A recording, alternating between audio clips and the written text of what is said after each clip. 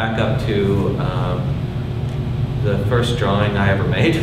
Not the first drawing I ever made, the first drawing I remember making, which is um, when I was five or six years old. I, I, I've been drawing since I was little or whatever. Everybody draws a little bit, but I made a drawing um, when I was maybe five where I didn't have any, I, and this is something I guess maybe young kids do too, but I, I specifically remember saying, I'm not going to think about what I'm making, I'm just going to drag my eraser over the paper and just without thinking make a mark and then look at it and then and then make a drawing on that. Uh, make, I just made a drawing from something like that and I, I just did that. I looked at the paper and um, I don't know if it was a conscious idea, let's do this, or if it just was something I was doing, just fiddling around being a kid. But I looked at the paper and um, it looked like a, the shape looked like a dog. It looked like a dog, a cartoon dog, like a Hanna-Barbera cartoon dog. And I said, well, that's wonderful. And I just, all I did was trace it in. I just sort of went over those lines and, uh, and I was so happy with it. It was just, it felt really, really great. Uh, like this, I didn't, I didn't, this wasn't an idea that I brought here. I'm not copying Hanna-Barbera. I wasn't, um, I didn't have a plan, but this thing, it just was like a present. It was really neat. So I was happy to have, have that just show up.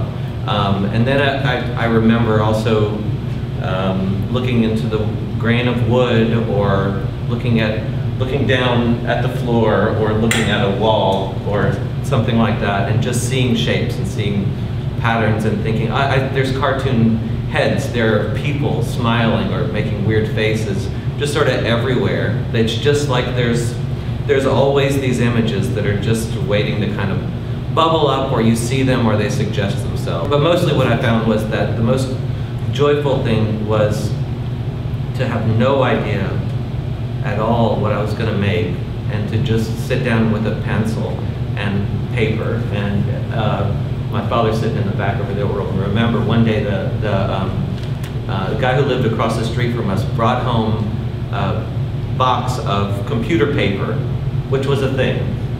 Uh, most people here can actually remember that. It was perforated, it was continuous, one long sheet, and it was just a box like this, and it was enough to go forever.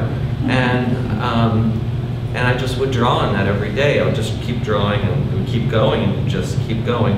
Um, but I would just draw without a plan and see what happened, and sometimes I would be delighted. Um, um, but I did. It, then I would notice that there were certain themes that would show up. The same images would show up over and over again. I keep drawing this bird. I keep drawing this dog. I keep drawing this kind of silly face, or these few things are showing up all the time. Um, and so then I would say, well, maybe I'll draw that again. That was so good. I really like drawing that little bird. I think I'll draw him again. But I would draw it a second time, and it wouldn't be alive like the first time. The first time when it was an accident, it was alive. The second time when I tried to copy it, it was not alive. And it was very upsetting. Uh, and I, I would say, well, what I'll do is I'll draw hard, and then I'll turn it over, and then I'll just trace it. It'll be on the back. I won't even have to redraw it. I won't have to have any skill. I'm just going to trace it over again. And it'll be the same thing, right? It'll be, have made it twice. And then I'll know how to make it because I'll have done it twice. Maybe I'll do it a third time and I'll know what I'm doing. I, kept having this idea, if you practice, if you make the thing a few times, you're going to understand what you're doing. You're going to know what you're doing, and it won't be an accident, and then you'll have control over it right? Um, I think this is a thing that kids do a lot when they try to, when they start drawing and they find that they might be good at it a little bit. Um, so I'm trying to do that, but it would never be alive. It would be something like the thing.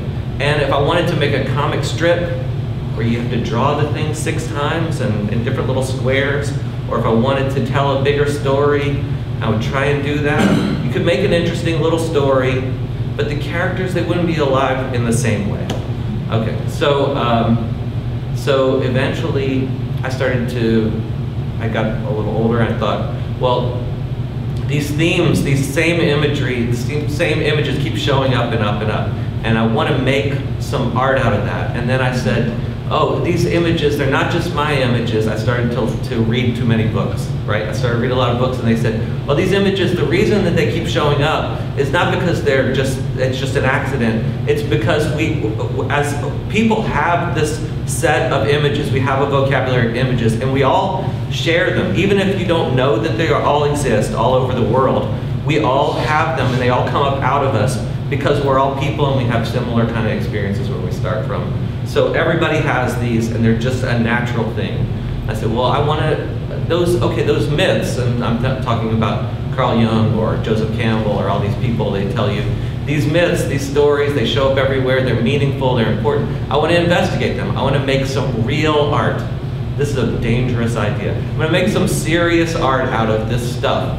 So then it's the same thing again, where it's not a natural thing that just comes out, but it's uh, I'm going to do something with it.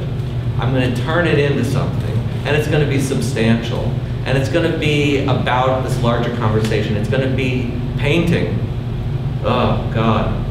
So that's like a real thing. That's like a that's a that's a history. That's a story. That's a that's the Western tradition, and that's a relationship with all of that or other things. Uh, so I'm going to make all. I'm, that's what I'm doing now.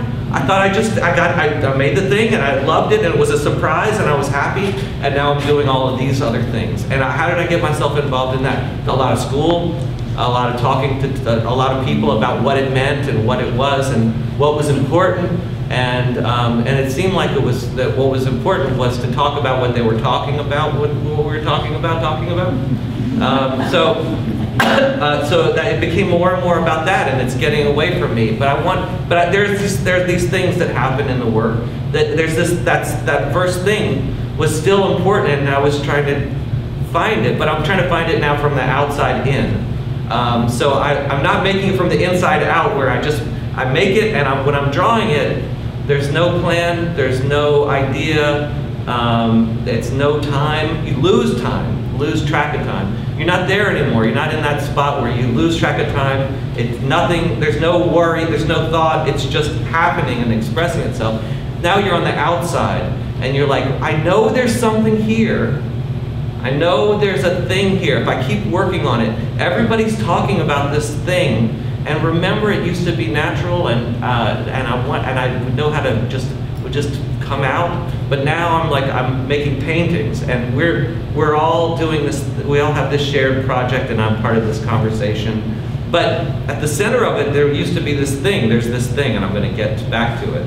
I'm gonna draw so well, my craftsmanship is gonna be really good. I'm gonna, I'm gonna refine it. I'm gonna do it a hundred times. Walter Rakowski said, uh, uh, that's great. You, uh, when you made it once, that was an accident. Make it 10 times. And then you know, then it's a thing. And so I would say, oh, I'll make it a bunch, I'll keep iterating this thing until I get my hands around it and understanding it and, and make it better. Um, and sometimes you can do that. I found that sometimes I could do that. But usually what would happen is I would make the thing, I would make it really substantial, I would have craftsmanship built in it, I might use my color theory, I might draw really carefully, I might be really particular with my mark making, and it gets really, it looks three-dimensional, it has volume, and I would, and that might be fine, and that would all, that's like, um, that has, that's impressive a certain way, but then the life, that, that life part, the thing where it comes alive, that was always still an accident. It didn't matter how well it was built and how good the craftsmanship is, you still have to trip stupidly, blindly, without thinking into the part where it comes alive. Um, and so I would just hope that it would happen, and sometimes it would, and sometimes it wouldn't. I don't have any idea what, how that works. Um, so, started out making things, and then uh, from the inside out, and then I end up, I take those ideas, make them into something. So that's from the outside in. Take those, those subjects, right, and develop the subjects. Um, uh, and I try to do that with a lot of paintings, a lot of different things. Instead, what I try to do this year that was a little different was, well, I'm just, I'm just going to draw. I'm just, I've been thoughtlessly drawing. I'm still doing that all the time. But they're, they're doodles. They're just these insubstantial sketchbook things. They're these things that don't really amount to much. They're not a whole piece of art. They're not a real finished thing. Um, I decided, well, I'm just going to use instead of worrying about the subjects in them and trying to understand the subjects and talk about the subjects that keep coming up in them, I'm just going to use them as objects. I'm just going to use them as the raw materials to make other things with.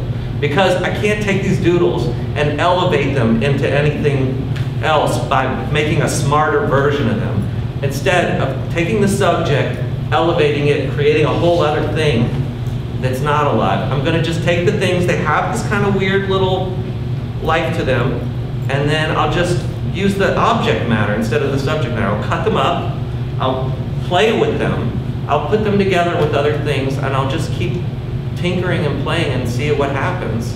And I've found that when I was doing that, it would it stayed more alive and they seemed more fresh and maybe they weren't as smart, but they were just they had more pleasure in making them, and um, and I wanted to do it. And this is only a third of what I made since March.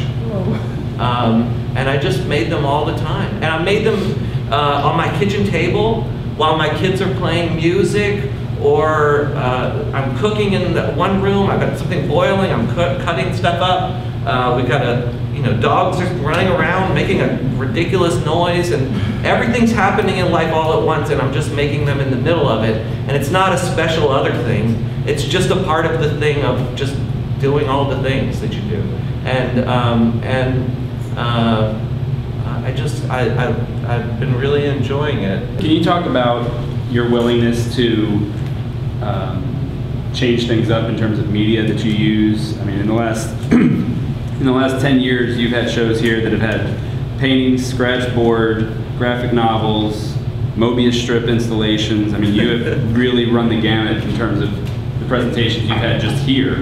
Um, and it sounds, um, yeah, so, uh, so uh, I made uh, I made paintings for a bunch of years, and then probably right around when you started, I, I made that graphic novel, and that was the that was the sort of the first moment of this idea that um, that the the life of the drawing should sort of like what it wants to do, what the what the work wants to do, what the drawing wants to do, should tell me what to do instead of me making art and then I don't know. But instead of me having some um, some external idea about what what art should be, um, uh, and since then, um, yeah, that that was the first time where I were just obs just obsessively drawing and following where the work wanted to go was leading the way.